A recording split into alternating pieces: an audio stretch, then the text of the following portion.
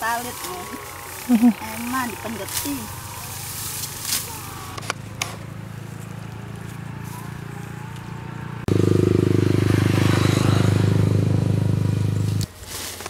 Berarti ini dapatnya berapa? Ya kurang tahu pala. Ya Jadi nggak nggak panen pak Enggak, enggak panen sama sekali, Pak. tahun ini. Tahun ini. Kenapa penyebabnya? Ya penyebabnya itu kekurangan air. Nah, terus habis tanam kan nggak ada air. Nah, tan tanaman kan kering, Pak. Terus kan masih tumbuh, terus tumbuh dimakan tikus. Oh gitu, jadi Iya. bangkrut sama sekali. Iya, jadi nggak ngurus sama sekali. Sama sekali nggak panen. Berapa Nggak hektar panen. Cuman ada asuransi, katanya katanya ada asuransi, tapi sampai sekarang belum keluar asuransinya. Halo, kalau kita Jadi berapa hektar pak nggak panen ini punya pak? Tiga, tiga hektar. Rugi berapa juta pak? Ya perkiraan rugi ya hampir 15-an, Pak lah. 15 juta ya. Iya 15 juta itu yang yang satu itu kan 5 juta, yang satu hektar itu kan ada tiga hektar berarti kan 15 jutaan. Modal Fatal baru Pak nggak ngurus sama sekali.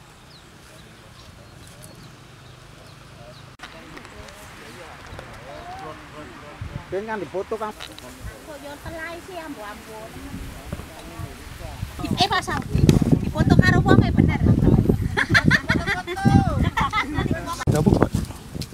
Kosong. ya? Yang mana coba lihatin? kanan yang diputar di kanan Kopongnya pak ya? Kosong. iya kosong kosongnya seperti ini ini kan kekeringan banyak yang kosong Hmm. Isinya separuh nih petitnya aja Berarti itu jelek pak? iya Faktornya kenapa? faktornya ya ada yang kekurangan air Oh kemarau ya lagi ya kemarau. kemarau pengen mangan banyu nggak ada air Hmm. jadi kresek namanya Beras kresek. Iya, kresek. Masih enam ke keburu alum nih, Pak. Nih, badannya kan makan. Oh, ini namanya banyak tuh. Pak, ngobrol Pak, bentar Pak. Pak, eh, ini di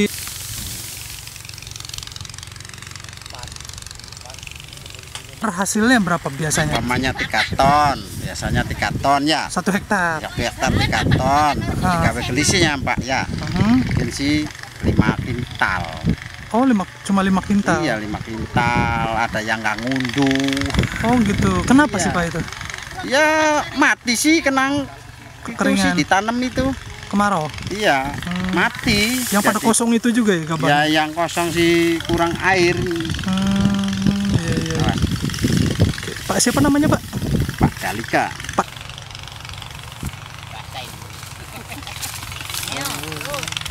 Mahal Pak. Jadi terus termasuk kayak petani itu setiap tahun itu ya rugi rugi melulu lah. Hmm.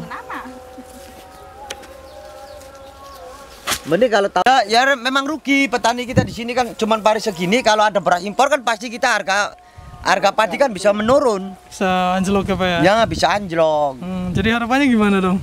Ya udah nggak usah ada impor-impor lagi lah. Yang penting kita hasil kita di Gitu. sini su- sudah di Cina nggak usah pakai impor. Tapi kan hasil sini juga sekarang lagi kurang atau? Ya lagi kurangan di sini barangkali kan yang di sana-sana kan Ah, agak yang penting kita kan un- cukup kita untuk di wilayah Indonesia aja kan. Oke, sip. Seandainya kekurangan, nah itu boleh impor gitu Hmm. aja saya mintanya. Pak siapa namanya Pak?